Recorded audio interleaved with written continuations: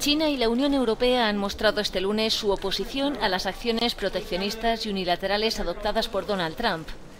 En una reunión en Pekín, ambas partes han hecho frente común a los aranceles impuestos por Estados Unidos y han defendido el sistema de comercio multilateral.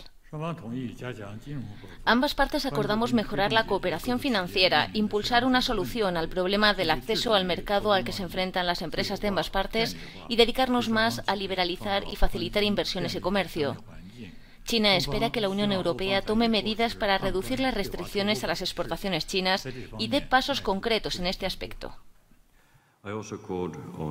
También pedí al viceprimer ministro que se una a mí para apoyar el trabajo del Foro Mundial del Acero sobre el exceso de producción. Es fundamental que trabajemos juntos para abordar ese exceso de producción en sectores como el acero y el aluminio.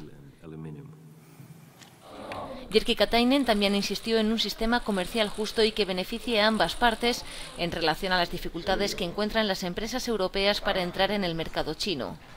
También este lunes el presidente chino Xi Jinping recibió al primer ministro francés Edouard Philippe para hablar sobre los lazos comerciales entre ambos países.